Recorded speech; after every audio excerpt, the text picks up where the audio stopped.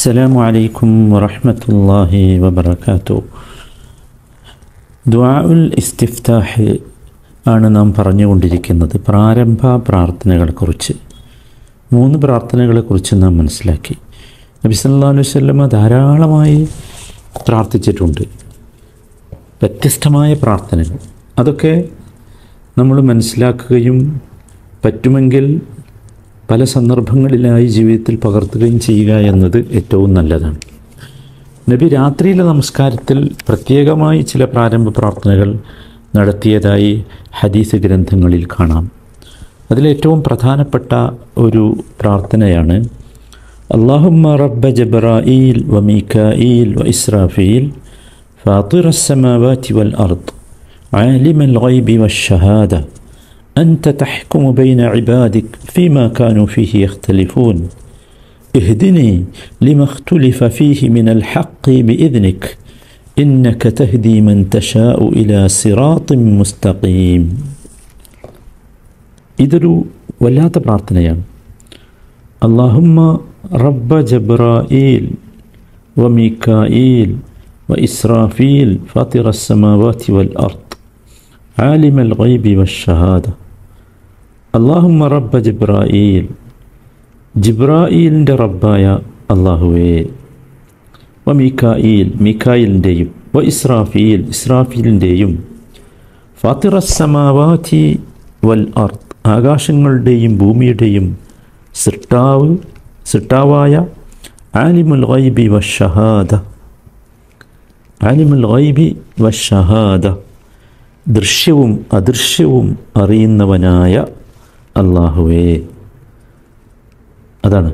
ഒരു അള്ളാഹുവിനെ വിളിച്ച വിളിയാണ് ഭയങ്കരം. ആകാശങ്ങളുടെയും ഭൂമിയുടെയും സൃഷ്ടാവും ദൃശ്യവും അദൃശ്യവും അറിയുന്നവനും ജിബിരിയിൽ മിഖായിൽ ഇസ്രാഫീൽ എന്നിവരുടെ റബ്ബുമായ അള്ളാഹുവേ അൻത തഹ്കുമു ബൈന ഇബാദിക്. അൻത തഹ്കുമു ബൈന ഇബാദിക് ഫീമാ കാനു ഫിഹി ഇഖ്തലിഫൂൻ. നിന്റെ ദാസന്മാർക്കിടയിൽ ഭിന്നിപ്പുള്ള കാര്യത്തിൽ വിധിക്കുന്നവൻ നീയാണ്. അതുകൊണ്ട് ഫീഹി മിനൽ ഹഖ് ഭിന്നിച്ചിട്ടുള്ളതിൽ സത്യത്തിലേക്ക് നിന്റെ അനുമതിയോടെ എന്നെ നയിക്കണമേ.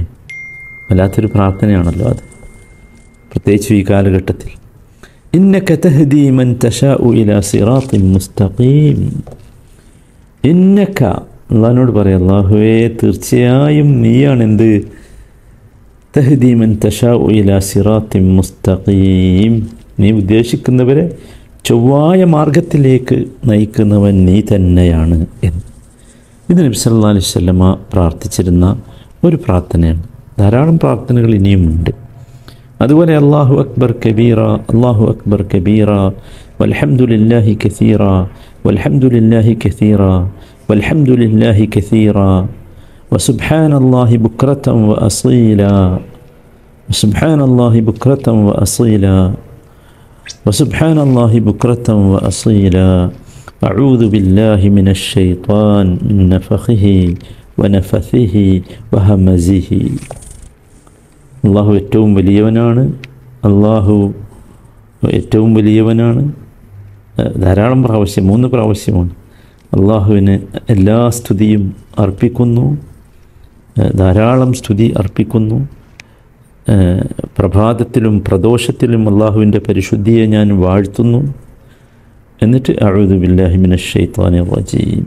മിൻ നഫസിഹി മിൻ നഫഹിഹി വ നഫസിഹി വഹമസിഹി പിശാജിന്റെ ദുർബോധനത്തിൽ നിന്നും അവന്റെ ഊത്തിൽ നിന്നും അവന്റെ ദുഷ്പ്രേരണകളിൽ നിന്നും അള്ളാഹുവിനോട് ഞാൻ കാവലിനെ തേടുന്നു. ഇത് നബി സല്ലാ വല്ലമ പ്രാർത്ഥിച്ച ഒരു പ്രാർത്ഥനയായിരുന്നു. അതുപോലെ മറ്റൊരു പ്രാർത്ഥനയാണ് നബി സല്ലാ വല്ലമ പ്രാർത്ഥിച്ച മറ്റൊരു പ്രാർത്ഥനയാണ് അള്ളാഹു മലക്കൽ ഹംദ് അൻ തനൂർ സമവാറ്റി വൽ അർദ്വമൻ ഫിഹിൻ ولك الحمد أنت قيم السماوات والأرض ومن فيهن ولك الحمد أنت الحق ووعدك حق وقولك حق ولقاؤك حق والجنة حق والنار حق والساعة حق والنبيون حق ومحمد حق. اللهم لك أسلمت وعليك توكلت وبك آمنت وإليك أنبت وبك خاصمت وإليك حكمت. أنت ربنا وإليك المصير فاغفر لي ما قدمت وما أخرت وما أسررت وما أعلنت وما أنت أعلم به مني أنت المقدم وأنت المؤخر لا إله إلا أنت ഇങ്ങനെ ധാരാളം പ്രാർത്ഥനകളുണ്ട് മറ്റൊരിക്കൽ നബി സല്ലല്ലാഹു അലൈഹി വസല്ലമ പ്രാർത്ഥിച്ചത് ഏഹ്, ഒരു എളുപ്പമുള്ളതാണ് ഞാൻ പറഞ്ഞത് അള്ളാഹു അക്ബർ പത്ത് പ്രാവശ്യം അൽഹംദുലില്ലാ പത്ത് പ്രാവശ്യം അള്ളാഹ് പത്ത് പ്രാവശ്യം. ലാ ഇലാഹ ഇല്ലല്ലാ പത്ത് പ്രാവശ്യം. അസ്തഗ്ഫിറുല്ലാഹ് പത്ത് പ്രാവശ്യം. ഇങ്ങനെയൊക്കെ പ്രാർത്ഥനകൾ വന്നിട്ടുണ്ട് ദിക്കറുകൾ വന്നിട്ടുണ്ട്. നോക്കൂ ഇവിടെയൊക്കെ നമ്മൾ മനസ്സിലാക്കേണ്ട വളരെ പ്രധാനപ്പെട്ട ഒരു സംഗതി ഈ പ്രാർത്ഥനകളിലൊക്കെ മുഴച്ചു നിൽക്കുന്നത് യഥാർത്ഥത്തിൽ നമ്മുടെ ഹൃദയത്തിന്റെ അവസ്ഥയാണ്. ഹൃദയത്തിന്റെ അവസ്ഥയാണ്. നോക്കൂ ഹൃദയത്തിന് നാല് അവസ്ഥകൾ മനുഷ്യന്റെ ഈ പ്രാർത്ഥനകളിൽ നിന്നൊക്കെ നമ്മൾ മനസ്സിലാക്കിയെടുക്കേണ്ടത്. ഹൃദയത്തിന് വരുന്ന നാലവസ്ഥകൾ. ഒന്നാമത്തേത് തസഹുത്താണ് കോപം. അള്ളാഹുവിനോട് കോപമുണ്ടാവുക. അത് ഹറാമാണ് പാടില്ല. രണ്ടാമത്തേത് സബറാണ്. ഏതവസ്ഥയിലും സന്തോഷമുള്ള അവസ്ഥയിലും ദുഃഖമുള്ള അവസ്ഥയിലൊക്കെ നമുക്കുണ്ടാകേണ്ടത് സബറാണ്. അത് വാജിബാണ് നിർബന്ധമാണ്.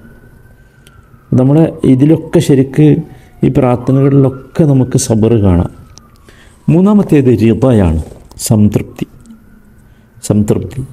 അതുണ്ടാവുക എന്നത് മുസ്തഹബാണ് ഏറ്റവും നല്ലതാണ്. ഏത് തീരുമാനത്തോടും നമുക്ക് എന്ത് വരിക സംതൃപ്തി ഉണ്ടാകുക അവസാനത്തേത് ശുക്റാണ് അതാണ് ഏറ്റവും ഉന്നതമായ അവസ്ഥ. ഏറ്റവും ഉന്നതമായത്. അഥവാ നമുക്ക് എന്ത് ചെയ്യണമെന്ന് വെച്ചാൽ നമ്മൾ നന്മ വരുമ്പോൾ ചിലപ്പോൾ ശുക്ർ കാണിക്കും. അതുപോലെ നമുക്ക് ബലാഹുകൾ വരുമ്പോഴും മുസീബത്ത് വരുമ്പോഴും ഒക്കെ ശുക്ർ കാണിക്കാൻ സാധിക്കണം. ഇതൊക്കെയാണ് യഥാർത്ഥത്തിൽ ഈ പ്രാർത്ഥനകളുടെയൊക്കെ ഉള്ളടക്കം.